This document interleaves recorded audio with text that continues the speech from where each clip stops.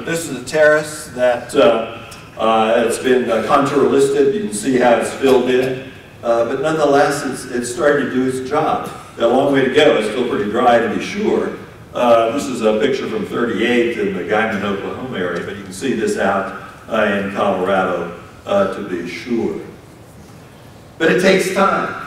Uh, it, nothing happens instantly overnight.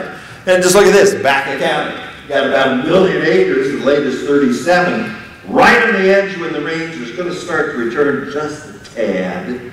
Uh, million acres, uh, there was serious uh, erosion, about 74% of the county, you know, that 20%, 29% slight, one and a half, 1.6 million acres in the county. The 96% highly erodible, Baca County is capable of blowing away, it seems like, and many people I think probably thought uh, that it was. Okay. Well, the Soil Conservation Service makes a dent with expertise and federal money that farmers could get and use and apply and make a difference. The other thing is, the wheat's not growing, your fodder isn't growing either, right? And many people down the plains in the southeastern corner of, of Colorado had some very serious problems feeding their horses and their cattle. Remember, not everybody has uh, tractors yet. Uh, some people are still using uh, uh, horses for, uh, for plowing and, and harvesting and whatnot. So, so what are you going to do?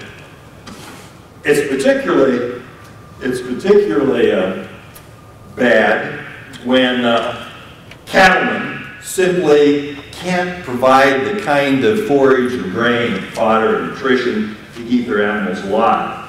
And if anybody's been, if anybody in the agricultural community has been more independent uh, than cattlemen, I who they are.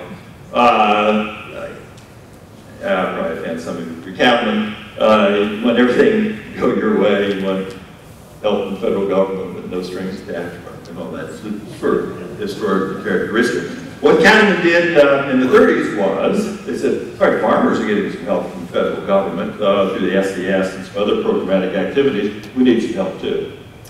And uh, what they asked the government to do is buy cattle. Buy cattle and distribute the beef for, uh, for relief.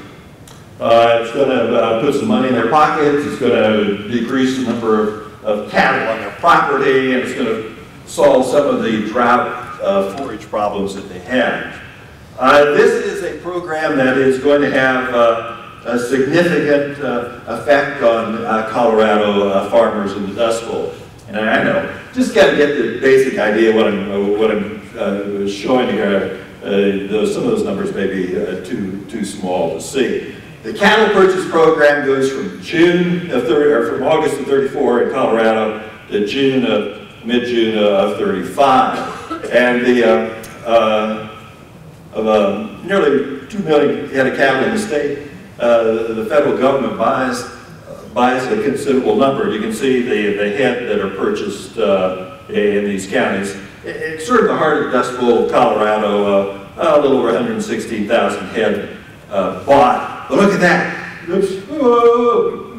I got a comma misplaced. Excuse me. I don't type real.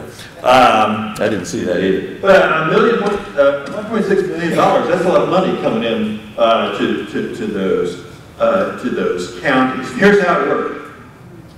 Uh, the government said, okay, we'll put money into buying cattle. Problem is, not all those cattle are worth packing.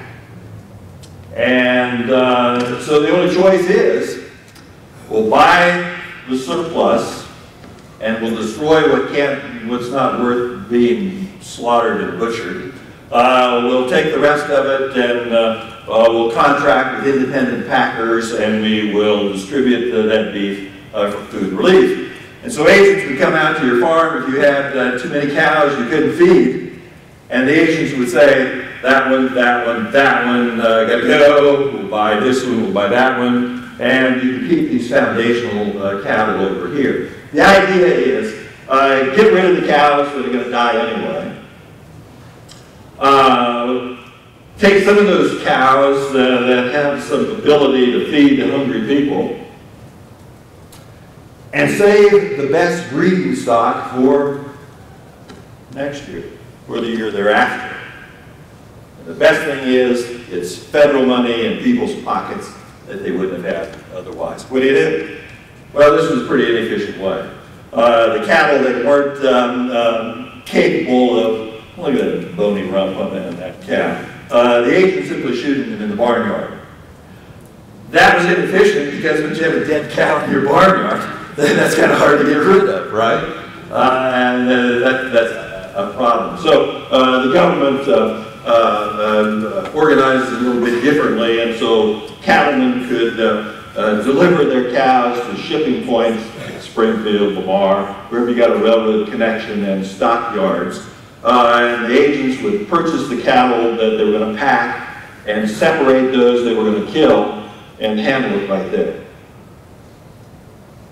Look at those bony rumps. Uh, it's hard to say whether this is going to be packed or simply, uh, simply destroyed.